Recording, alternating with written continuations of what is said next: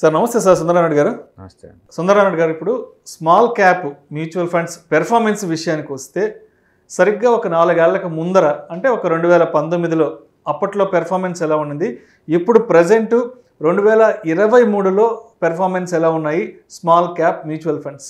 So మనం two thousand nineteen కనుక చూసుకున్నాం అనుకోండి ఆ టైంలో ఒక టూ త్రీ ఇయర్స్ కంటిన్యూస్ కూడా డౌన్స్ బాగున్నాయండి డౌన్ ట్రెండ్ ఎక్కువ ఉండేది. అండ్ ఫండ్ సైజ్ కూడా లేదు. ఒక ఐదు వేల కోట్లు దాటిన సైజ్ ఉన్న మ్యూచువల్ ఫండ్ చాలా తక్కువ ఉండేది అప్పట్లో. ఆల్మోస్ట్ టూ త్రీ ఇయర్స్ వరకు కూడా అచ్చం నెగిటివ్లో ఉన్నాయి. ఇప్పుడు mother of the bull markets బాగా మనం బుల్ మార్కెట్స్లో బాగా రన్ అవుతున్నాం అండి ఇటు. సంవత్సరానికి థర్టీ పర్సెంట్ ఫార్టీ పర్సెంట్ రావడం కూడా మామూలు విషయం అన్నట్టుంది ఇప్పుడు ఈ మార్కెట్స్లో. అందుకని స్మాల్ క్యాప్స్ బీవచ్చని పర్ఫార్మెన్స్ ఉంది. అంటే పర్టికులర్గా లాస్ట్ ఫోర్ మంత్స్లో అయితే ట్వంటీ వచ్చిన మ్యూచువల్ ఫండ్స్ చాలా ఉన్నాయి. ట్వంటీ పర్సెంట్ వచ్చిన మ్యూచువల్ ఫండ్స్. ఎక్కువ మంది అది రిపీట్ అవుతుంది ఎప్పుడు అనుకుంటున్నారండి? అలా ఏం అవ్వదు.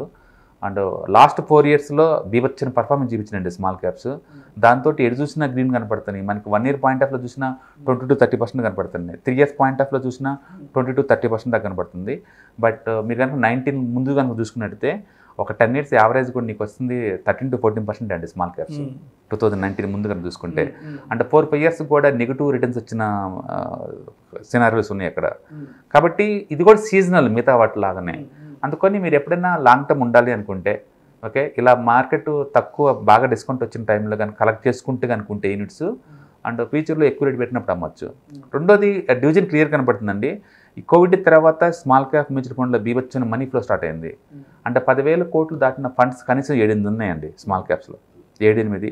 మరి నిప్పాన్ స్మాల్ క్యాప్లో అయితే థర్టీ థౌసండ్ కోట్స్కి వచ్చింది fund size small cap mutual fund size ఒకప్పుడు ఐదు వేల కోట్లు చాలా పెద్ద ఫండ్ అనేవాళ్ళు. అంటే ఇప్పుడు ఇవాళ ఇండియన్ స్టాక్ మార్కెట్లో మ్యూచువల్ ఫండ్స్ అంటే నథింగ్ బట్ స్మాల్ క్యాప్స్ అండి మనీ ఫ్లో బీవచ్చ నడుస్తుందా దానికి? ఎంత అంటే దాన్ని ఎలా హ్యాండిల్ చేయాలి అర్థం కాకుండా లంప్స్ అమౌంట్ని బ్యాన్ చేసిన మ్యూచువల్ ఫండ్స్ ఉన్నాయి small caps Tata small cap mutual fund ఆపేసింది Nippon small cap mutual fund ఆపేసింది SBI small cap mutual fund ఆపేసింది లంప్స్ అమౌంట్ తీసుకోవట్లే వాళ్ళు. ఏఎంసీ సిప్ను మాత్రం అలౌ చేస్తున్నారు?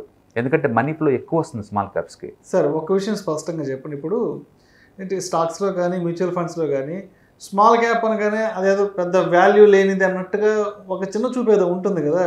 మరి అంటే ఇప్పుడు మీరు చెప్పేదాన్ని బట్టి ఈ రిటర్న్స్ ఆ స్థాయిలో ఎలా రాగలుగుతున్నాయి? డెఫినెట్గా అండి ఇండియాలో లార్జ్ క్యాప్ మ్యూచువల్ ఫండ్స్ అంటే టాప్ వందేనండి. అంటే ఆ ర్యాంకింగ్ వందకే ఇస్తారు. మ్యూచువల్ ఫండ్స్లో ఆ వందలో యాభైలో ఇన్వెస్ట్ చేయాలి. అంటే ప్రతి రెండులో ఒక దాంట్లో ఇన్వెస్ట్ చేయాలి. లార్జ్ క్యాప్ స్టేబుల్ అండ్ పెద్ద గ్రోత్ ఉన్న కంపెనీస్ ఏం కాదండి. అవన్నీ banking insurance oil and gas ఇవన్నీ ఉంటాయి. సైజు పెద్దది కాబట్టి గ్రోత్ స్లో ఉంటుంది. అందుకని అందులో ఆ కేటగిరీలో పెద్ద స్కోప్ ఉండదు. అదే స్మాల్ క్యాప్ అనుకోండి టూ ఫిఫ్టీ కంపెనీస్ ఉన్నాయి. అందులో నుంచి వాళ్ళు ఒక యాభై పిక్ చేసుకుంటారు. అంటే ఛాయిస్ ఎక్కువ ఉంది. పైగా ఇండియాలో ఎప్పుడు కూడా స్మాల్ క్యాప్స్ బాగా పెరుగుతాయండి. స్మాల్ అండ్ మీడియం ఎంటర్ప్రైజ్ ఇండియాలో కొన్ని లక్షలు ఉండే స్టాక్ మార్కెట్ బయట ఇంకా చూసుకుంటే వాటి గ్రోత్ ఎప్పుడు ఉంటుందండి ఆపర్చునిటీస్ అంటే మామూలుగా ఈ కన్సిడరేషన్ ఎలా ఉంటుందంటే large cap blue chip blue chip అనగానే అదే ఇంటర్నేషనల్ రైట్ స్మాల్ అనగానే అదే లోకల్ అన్నట్టుగా కన్సిడరేషన్ చేస్తుంటారు. But money beyond the Nifty చూడాలండి మీరు ఎప్పుడైనా మనీ మార్కెట్ మేక్ చేయాలంటే బియాండ్ ద నిఫ్టీ చూస్తేనే గ్రోత్ ఉంటుంది. యాక్చువల్గా అన్ని ఇండెక్స్లో కల్లా వరస్ట్గా లేదా తక్కువ మనీ వచ్చే ఇండెక్స్ ఉందంటే అది నిఫ్టీ అండి. మనం బెస్ట్ కంపెనీస్ ఇండియాలో అరవై ఏడు శాతం కంట్రోల్ చేస్తుంటుంది నిఫ్టీ అనుకుంటాం కదా. అందులో మీరు ఇన్వెస్ట్ చేస్తే మీకు వచ్చేది యావరేజ్ రిజల్ట్ ఫోర్టీన్ పర్సెంట్ అండి. స్టెబిలిటీ ఉంటుంది నిజం. లో రేట్ ఆఫ్ రిటర్న్ కూడా అదే ఉంటుంది. అదే నువ్వు మైక్రో క్యాప్కి వెళ్ళావు అనుకోండి టూ ఫిఫ్టీకి అవి చిన్న కంపెనీస్ కదా నిఫ్టీతో పోల్చుకుంటే ఒక ఫైవ్ సిక్స్ పర్సెంట్ ఎక్కువ ఉంటాయి వాటికి ఆ రిటర్న్స్ అదే మ్యూచువల్ ఫండ్స్ అనుకోండి ఇంకా బాగా హ్యాండిల్ చేస్తారు. అందుకని స్మాల్ క్యాప్ మ్యూచువల్ ఫండ్స్ అన్నీ కూడా స్మాల్ క్యాప్ టూ ఫిఫ్టీని ఇండెక్స్తో పోల్చుకుంటే ఒక five to ten percent extra ఇస్తారు వీళ్ళు. అందుకని డెఫినెట్గా మనీ మేక్ చేయాలంటే ఇండియాలో ఖచ్చితంగా మీరు స్మాల్ క్యాప్లో కూర్చోవాల్సింది స్మాల్ లేదా మైక్రో క్యాప్లో కానీ వాలటిలిటీ ఎక్కువ. అప్ అండ్ డౌన్ టూ మచ్గా ఉంటాయి. కాబట్టి మీరు పడ్డప్పుడే యావరేజ్ చేసే కెపాసిటీ మీ దగ్గర కనుక ఉంటే ద బెస్ట్ రిటర్న్స్ దీనిలోనే సాధ్యం వస్తుంది. లార్జ్ క్యాప్లో సేఫ్టీ సేఫ్టీ అని నీకు పెద్దగా రాదండి. ఇప్పుడు టీచర్స్ నేను కొన్నాను జీవితకాలం ఉంచుకున్నాను ఎంత ఎక్స్పెక్ట్ చేస్తారు ఇయర్లీ ఫిఫ్టీన్ పర్సెంటేజ్ కన్నా ఎక్కువ ఎక్స్పెక్ట్ చేయలేరు. అవును. ఓకే అండ్ యావరేజ్ మీద. రిలయన్స్ తీసుకుని ఎంత వస్తుంది? ట్వంటీ పర్సెంట్ కన్నా ఎక్కువ ఎక్స్పెక్ట్ చేయలేరు. అది స్మాల్ క్యాప్స్ అలా కాదు. వాటి గ్రోత్ స్టేజ్లో ఫాస్ట్గా మూవ్ అవుతుంటాయి కదా. అందుకని ఆ టైంలో మంచి కంపెనీలు ఎంటర్ అయ్యారనుకోండి గ్రోత్ చాలా సివియర్గా ఉంటుంది కాబట్టి ఎక్కువ రిటర్న్స్ వచ్చే ఛాన్స్ ఉంటుంది.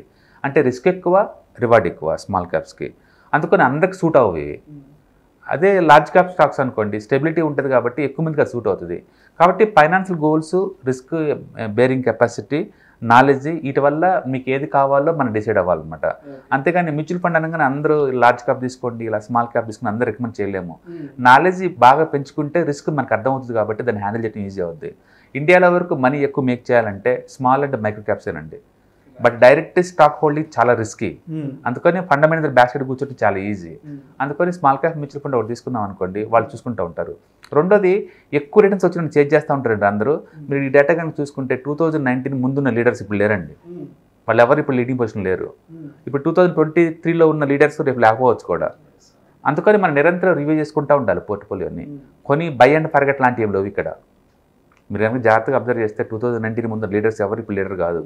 ఇప్పుడున్న వాళ్ళు కూడా రేపు లీడర్ కాకపోవచ్చు. అందుకని వాళ్ళు ఏ సెక్టర్లో ఇన్వెస్ట్ చేస్తున్నారు ఆ సెక్టర్ యొక్క ట్రెండ్స్ తెలుసుకోవడం ద్వారా మనకు అర్థమవుతూ ఉంటాయి. అందుకని మీరు బై అండ్ హోల్డ్ చేసుకోవాలంటే ఫిఫ్టీన్ ట్వంటీ పర్సెంట్ ఎక్స్పెక్ట్ చేయొచ్చు. మీరు బయటికి పోవాల్సిందంటే ఆల్ టైమ్ హైలో ఉన్నప్పుడు బయటికి పోవాలి రూల్ అలా పెట్టుకోవాలి. లేదు అప్పుడప్పుడు ఎవ్రీ టూ త్రీ డేస్కి ఒకసారి మార్కెట్ బాగా భూమిలో ఉన్నప్పుడు నేను బయటికి పోతాను అనుకున్నప్పుడు నీకు కొంచెం ఎక్కువ రిటర్న్స్ రావచ్చు. కాబట్టి మీకంటూ ఓన్ స్ట్రాటజీ ఒకటి ఉంటే మార్కెట్ యావరేజ్ రిటర్న్స్ని మనం తీసుకోవచ్చు.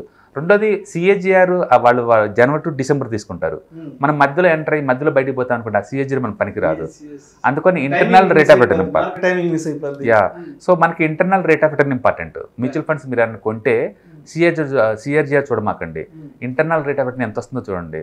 అది కనుక ట్వంటీ ఫైవ్ దాటి వస్తుంది అనుకోండి మంచి రేటు బయటపడడానికి రెడీ అప్పుడు మనం బయటకు వెళ్ళొచ్చు అనమాట ప్లాన్ చేసుకొని ఓకే? కాబట్టి ఇప్పుడున్న బుల్ మార్కెట్లో ఉన్న మ్యూచువల్ ఫండ్స్ రిటర్న్స్ ఫ్యూచర్లో వర్తి అనుకో అనుకోవద్దండి.